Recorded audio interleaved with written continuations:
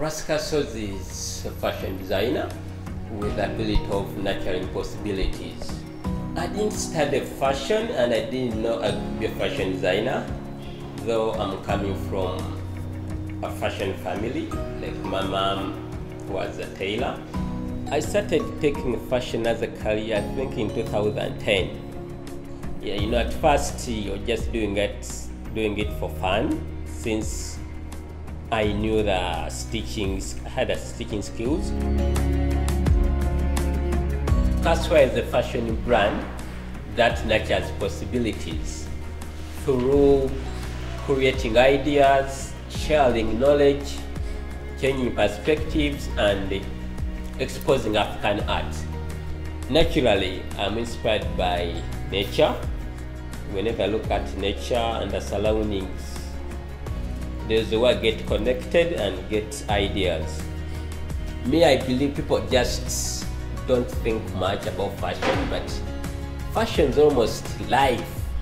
Fashion brings life to the world. Without fashion, the world is boring. We impact a lot of people. From students, I get students who come to me for internship. They want to know themselves. So I give them ideas which help them to go and get income. I've impacted my community through mentorship. That's why I managed to come up with a program which is called CD Show, whereby I'm looking for those skilled, expressive entrepreneurial designers.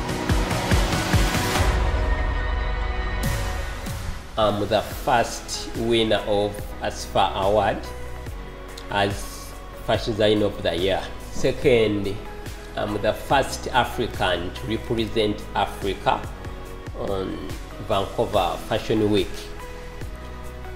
Third, I'm going to be the first Ugandan to represent Uganda at Eco Fashion Week Australia.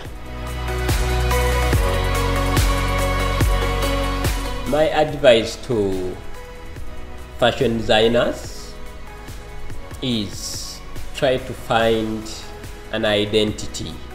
How do you want people to recognize you? Make sure your business stands out from others' businesses.